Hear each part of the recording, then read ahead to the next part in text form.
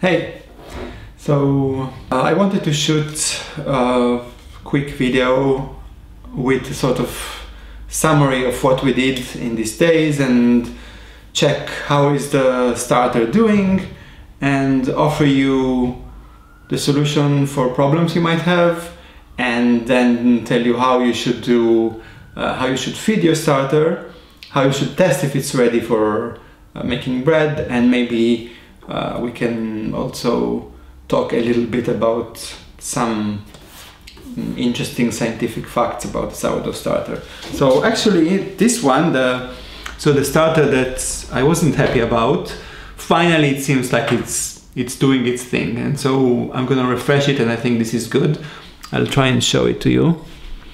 So now you can see, can you see all those little bubbles on the sides?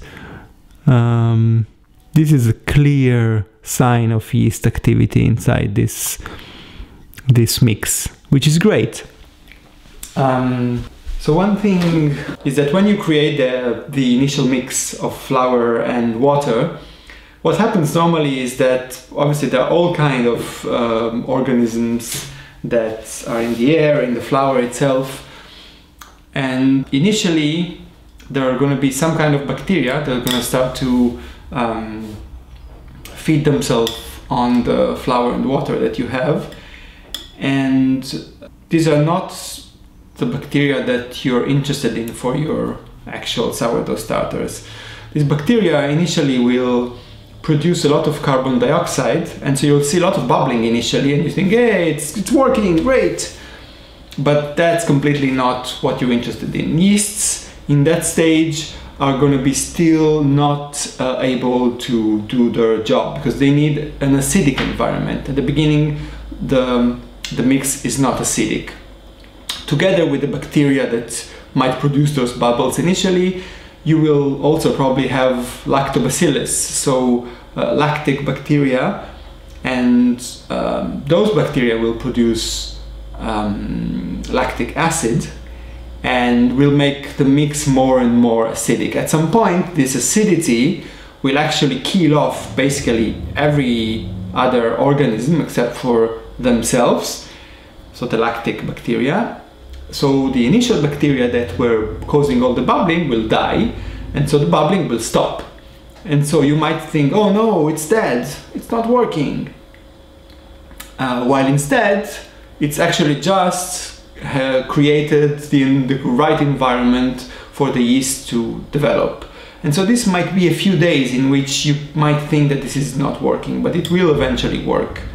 Even just by mixing every now and then, uh, little, every few times during a day, the, the, this, the starter, this could help um, the, the activity of the yeasts because you're introducing oxygen and you're mixing, uh, you're balancing the hydration levels inside the mixture, you're, um, you're bringing inside all kind of things that are on the surface. And so this is a good practice. If things don't work, maybe try and do some extra mixing of your, uh, of your starter. This one I have um, kept it outside the fridge because it wasn't ready yet. Now it's definitely in a good position. So now I'm going to feed it, refresh it as I said.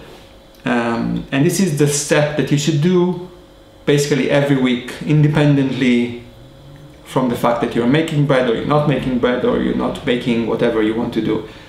Now in theory the starter can survive for much longer in, in, in the fridge.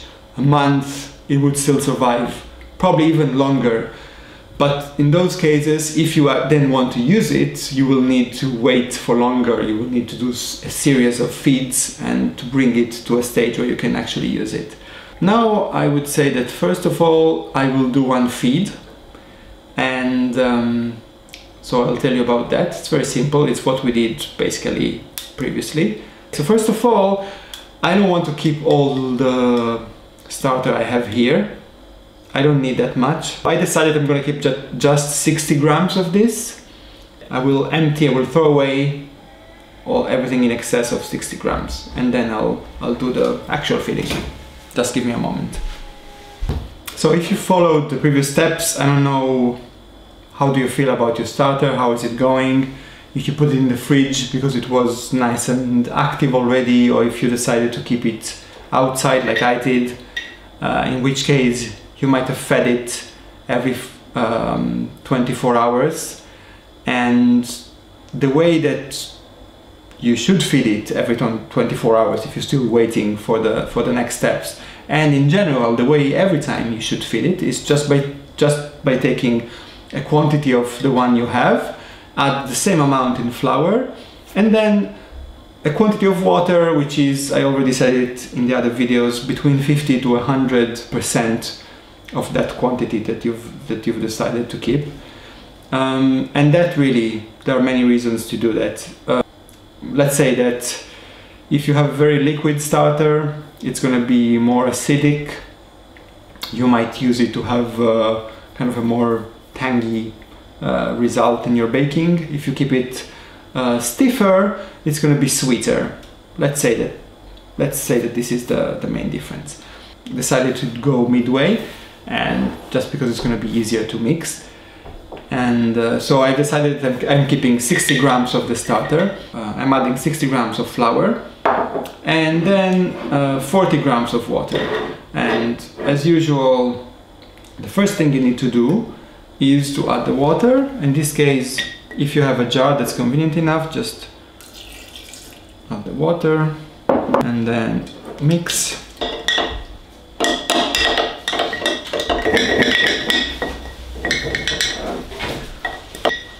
Okay, so I mix the water in and I can add the flour.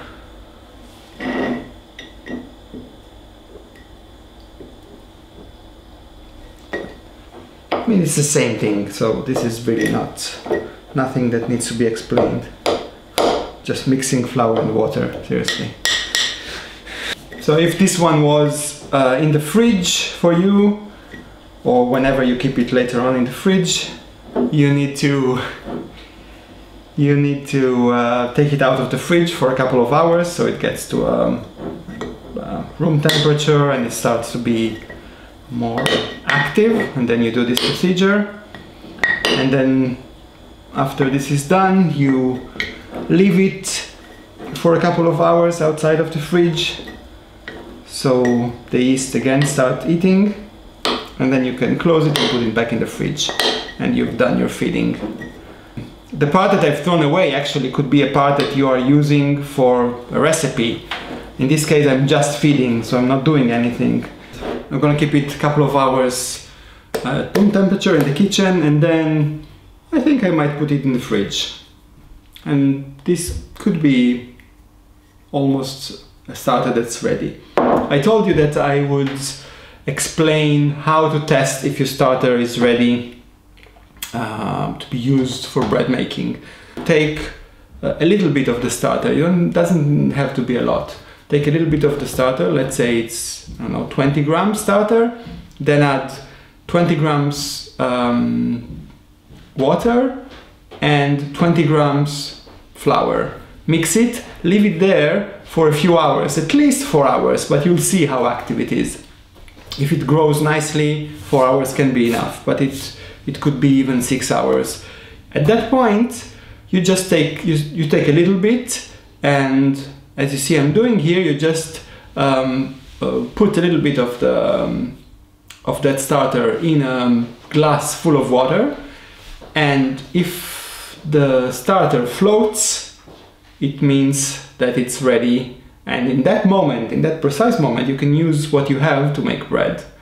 So this is what you do normally when you make bread, but this is also a way that you can test your starter. And I think that's that's it. I kind of told you everything.